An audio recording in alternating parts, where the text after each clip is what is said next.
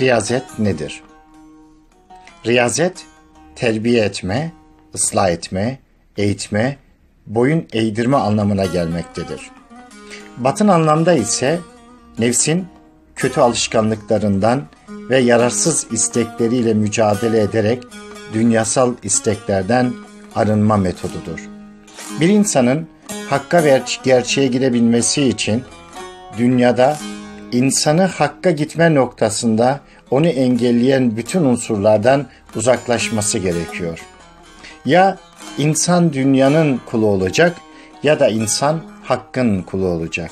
Ya insan dünyanın istekleriyle dünyaya bağlı kalacak ya da hakkın istekleriyle hakkın cemal ve didarına erecek güzel canlar.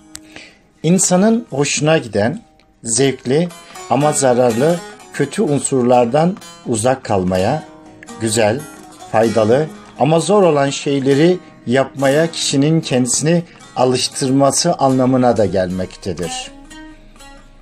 Hakka ulaşmak isteyenler nefsin ve bedenin arzularını en az seviyeye indirerek ibadet metotlarıyla nefislerini olgunlaştırmak ve kemaleti bulmak için az yer, az konuşur, az uyurlar ve yalnız kalırlar.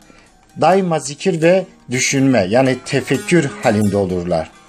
Tefekkür varlığın oluşumunu düşünerek onun içindeki hakikate ulaşma metodudur güzel canlar. Riyazetin birçok metotları vardır. Bu metotlardan bazıları şunlardır.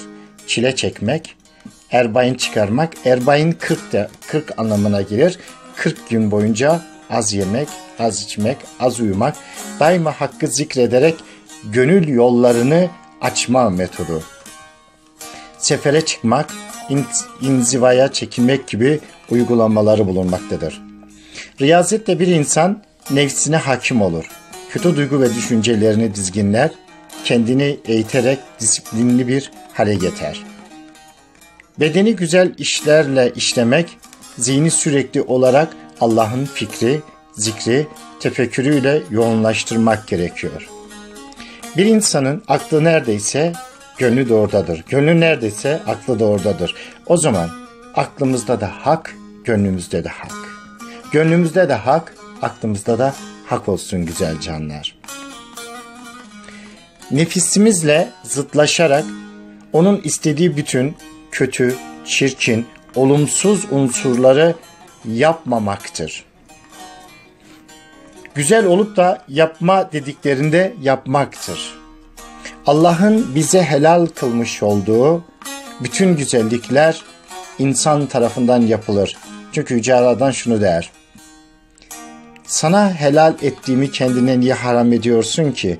O zaman Yüce Aradan'ın bizim güzel yaşamamız noktasında bize sunmuş olduğu bütün güzellikleri yapabilir ve paylaşabiliriz. Çünkü insanoğlu yeryüzüne acı çekmek için değil, yeryüzünü paylaşarak ve Allah'ın ilahi yasasının gerekleriyle hareket ederek en güzel şekilde yaşaması için gönderilmiştir. Ey insanoğlu! Nefsin isteklerine boyun eğenler yaşamı çirkinleştirenlerdir. Nefsi kendine boyun eğdirenler ise yaşamı güzelleştirenlerdir. Ne mutlu ki nefsin kalesi, kölesi olmayana. Çünkü Rabbin güzellikleri ona verilecektir. Biz nefsimizin kölesi değil, biz nefsi ke- kendimize köle etmeliyiz güzel canlar. Atın gemleri sizde ise atı istediğiniz noktaya siz götürürsünüz ama hakimiyeti at alırsa nereye gideceğiniz noktasında bir soru işaretiyle karşılaşırsınız. Onun için bizler nefsi kendimize köle edip nefsin kötü duygu ve düşüncelerinden arınarak hakkın güzellikleri noktasında her daim riyazet etmeliyiz.''